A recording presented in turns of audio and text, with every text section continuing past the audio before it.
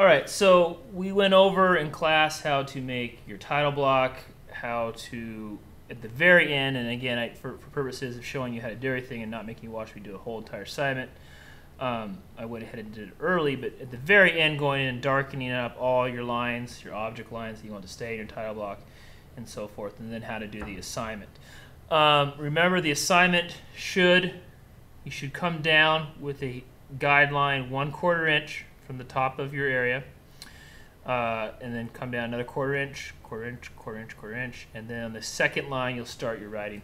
Notice how I go all the way to the end here before I start my next line, and start right on this end and go all the way to the end here. And in fact, that is the end of my sentence. And then to add, um, I need to add some more lines here, so I will just go ahead and measure out quarter inch increments. Again, I'm drawing really light. I don't want these lines to show. Okay, I do them a little darker for you guys, but when you do them, these should be super duper light.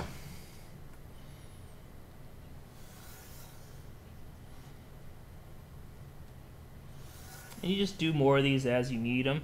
That way, you don't have a whole page of lines that you're not using. Okay, and then again, I, I like to use the eraser bag, kind of keep my stuff clean, especially when I start using that 6H pencil, or I'm sorry, that H pencil, because it does like to smear a little bit. All right, um, and then and then I'm just starting here on that line again, and continue writing. Every time there is a vertical, I use the straight edge. You can borrow one of these from me. You can use your triangle. They all work.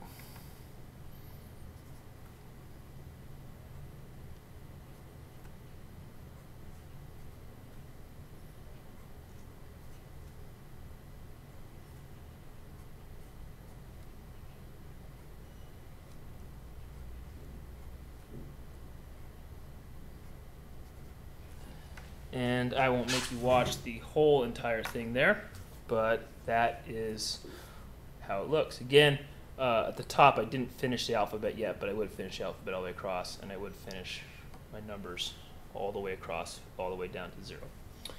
Uh, there you guys go. Enjoy.